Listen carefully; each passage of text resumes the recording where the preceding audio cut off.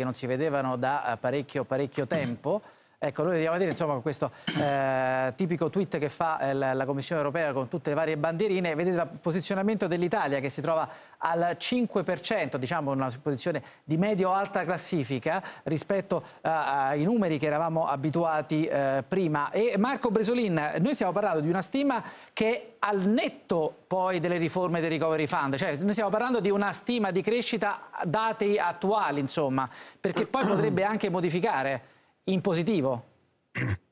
È quello che, che, ha spiegato ieri il commissario Paolo Gentiloni, eh, nel senso che eh, la Commissione nel fare queste stime ha previsto eh, un impatto di investimenti del Recovery Fund, ma non delle eh, riforme. Questo vuol dire che, secondo la Commissione, l'impatto delle riforme potrebbe portare ulteriore crescita, certamente non lo vedremo già nel 2021, ma inizieremo a vederlo dal, dal, dal prossimo anno, dal 2022 in poi, eh, anche perché appunto già oggi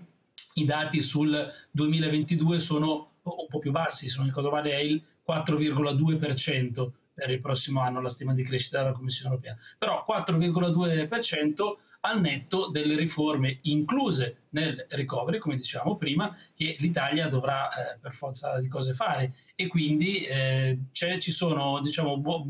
ampie margini per una crescita più eh, sostenuta nei prossimi anni. De Nicola, al di là della riforma della giustizia, qual è